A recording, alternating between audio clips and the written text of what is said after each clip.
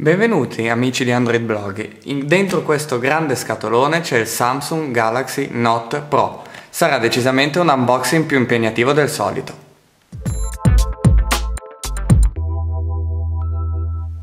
Andiamo quindi a vedere che cosa contiene questa scatola che quasi non entra nell'inquadratura della telecamera. Facciamo uscire scorrendo da questo lato le scatole che comprendono la scatola del tablet vera e propria e quella della tastiera. Ma torniamo un secondo allo scatolone di prima. Vi faccio vedere come Samsung eh, pone l'accento su questa dotazione che praticamente è un valore di contenuti extra eh, pari a 500 euro per quanto riguarda abbonamenti al Corriere, abbonamenti alla Gazzetta, spazio su Dropbox, eh, giochi in regalo sul Samsung App eh, e ehm, abbonamenti cinema, serie tv su Premium Play, eccetera, eccetera, eccetera.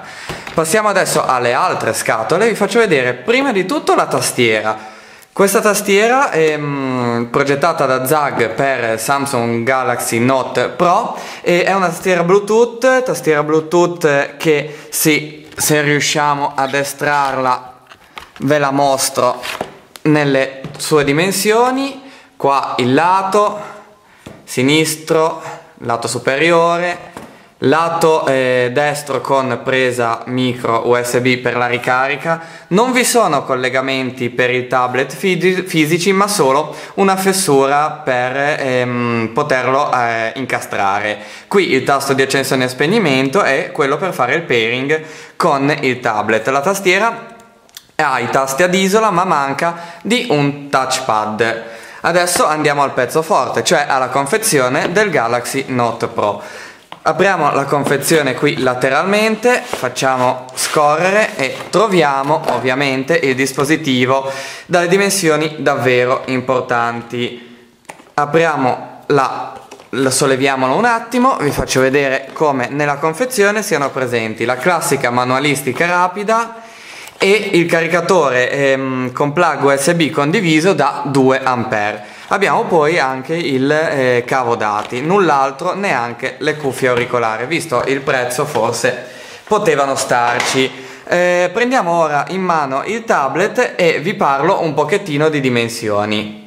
Dimensioni che sono 295.6 x 204 x 7.9 mm di spessore per un peso di ben 753 grammi. Andiamo a vedere i vari lati del dispositivo, lato sinistro con la prima delle due casse stereo e il jack per le cuffie da 3,5 mm.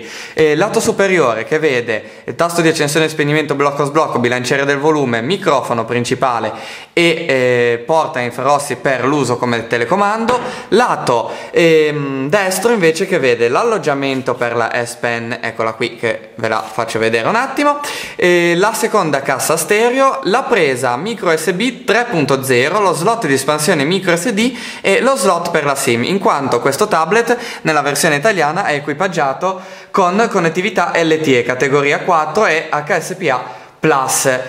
E vi parlo poi del lato eh, anteriore che vede la camera da 2 megapixel con il sensore di luminosità. Sotto i due tasti soft touch caratteristici di Samsung e il tasto fisico home. E posteriormente andiamo a ruotarlo, troviamo la camera principale da ben 8 megapixel con il flash LED e l'autofocus, la classica finitura gommata che caratterizza tutti i eh, tablet Samsung provati ultimamente. Parliamo di batteria che si trova qua sotto, la batteria da ben 9500 mAh. Intanto che lo accendiamo vi parlo delle altre caratteristiche hardware. A muovere il tablet abbiamo un processore Snapdragon 800 quad-core Krita affiancato a 3 GB di RAM. La memoria interna, come abbiamo visto espandibile, è comunque di 32 GB con una buona parte occupati dal sistema. E per quanto riguarda il resto della connettività abbiamo il wifi ABGNAC dual band, Bluetooth, GPS, poi accelerometro, magnetometro, giroscopio e come detto il sensore di luminosità. Ma adesso che si è acceso vi, fa- vi faccio vedere questo splendido display, display con risoluzione 2560 x 1600 pixel di diagonale 12.2 pollici per una densità di pixel di 247 ppi. Quindi un prodotto che eh, fatichiamo a mh, mm, piazzarlo nella categoria tablet e che non vediamo l'ora comunque di provarlo in tutti i suoi aspetti. Per l'unboxing è tutto, un saluto da Alessia Cinabro per androidblog.it.